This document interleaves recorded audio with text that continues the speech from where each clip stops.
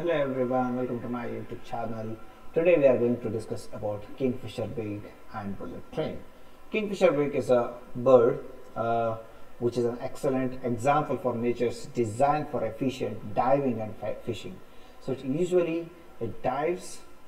Uh, it is well known for uh, diving, and while diving, it doesn't make much sound, so that the fish in the uh, in the aquatic uh, uh, environment they don't even have uh, the clue that this particular kingfisher beak is coming. And also so to have this efficient diving and fishing the reason was where the unique shape and the structure enable which which kingfisher has got to minimize the impact of water resistance and achieve the successful dive. So water resistance will be less so that uh, it can successfully have a nice dive and catch the fish. So this is exactly how the bird looks like, uh, kingfisher beak, and the similar structure was copied uh, by inspired and uh, bullet train was made. So uh, specifically in Japan, uh, uh, some of the this bullet trains are exactly a replica of this particular bird. So the physics behind the kingfisher beak. The first thing, uh, there are a lot of uh, you know uh, concepts, where physics concepts we can keep on explaining regarding the kingfisher beak. Out of which the, we'll start with the streamlining. So streamlining. So under this we can study the beak of the kingfisher is long. The beak, okay, that front part is long, slender, and sharply pointed. So this is because, because it, since it is a long, slender, and as well as sharply pointed, this will help to reduce the drag. Definitely, it will help to reduce the drag or air resistance as the bird dives into the water. Now, the streamlined shape allows the kingfisher to smoothly cut through the water and minimize the energy which is required for the dive. So, because of this, air, air uh, drag reduction is less in the air, so it can smoothly dive and it can minimize whatever the energy is required for the dive. The same, same property is copied for the bullet train also. Next, high, I mean surface tension. So what happens when the kingfisher hits the water? It encounters the surface resistance. That means the resistance which is caused by the surface. Okay, so that is called surface tension. So now this particular surface tension is uh, the definition of the surface tension. This is nothing but a cohesive force between the water molecule that creates the skin on the water surface. So now the sharp peak uh, of this particular kingfisher, which uh, uh, which it has got in the uh, front, that will helps to pierce it. That means it will cut through this particular water surface and breaking the surface tension and as well as reducing the force which is required to enter the water. So once the surface tension is cu cut and that will reduce the force which is required to enter the water. So minimizing the splash.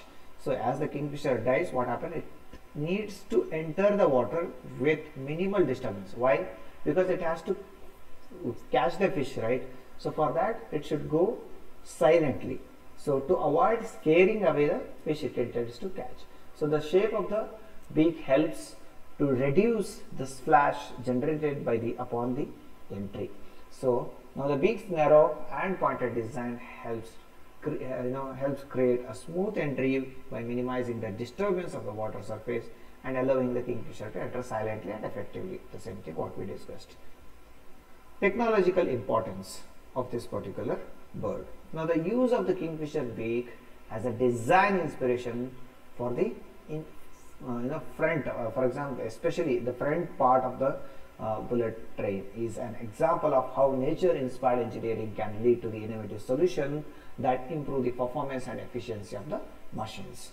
So bullet trains is well known for its speed and if you are if something which is traveling in such a speed okay that their, their structure matters because it is experiencing the huge amount of air which is coming a lot of resistance will be there to encounter this resistance the structure ha uh, has to be similar that the this particular kingfisher beak so that it can break it and its performance and efficiency of the machine can be increased. So that's how the technological importance this bio inspiration was. Next, uh, we are having example here. So Shinkansen uh, bullet uh, bullet train of the Japan is the best example for the uh, the biomimicry of the kingfisher beak. Biomimicry, all of you know, the mimicking the the biology of particular living organism or any anything. Next, aerodynamic design.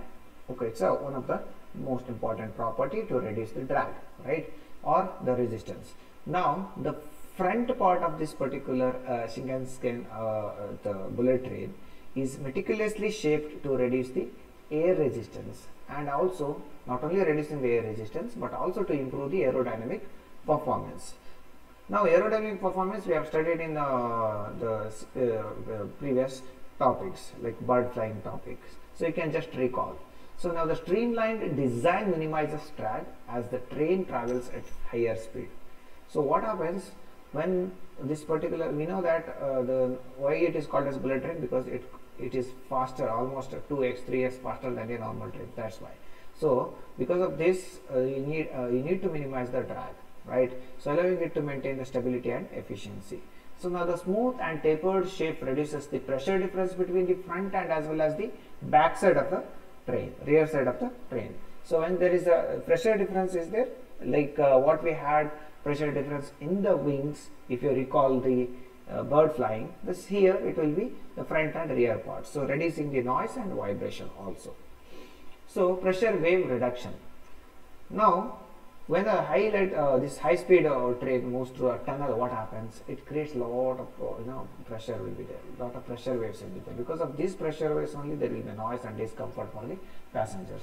Imagine normal train when it is going for 60 to 80 or maximum 100 kilometers only we hear a lot of pressure waves. We hear a lot of you know discomfort. We most of us we, cl we close our ears and some of us make noise that is different and we enjoy that.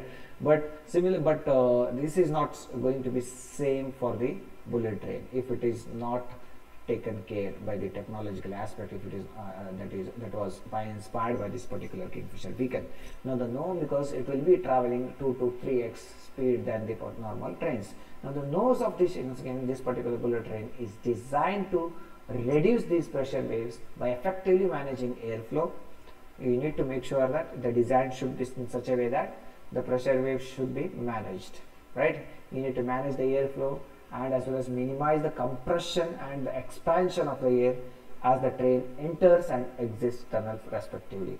So while it enters there will be has to be compression should be there and when it is keep when it is exiting there has to be expansion so that the pressure waves can be you know effectively managed or wave airflow can be effectively managed. So this reduces the noise level and enhances the passenger comfort. So the passenger can sit comfortably. So, uh, so that's it for today. So next class we are having a human blood substitute that we will discuss in the next class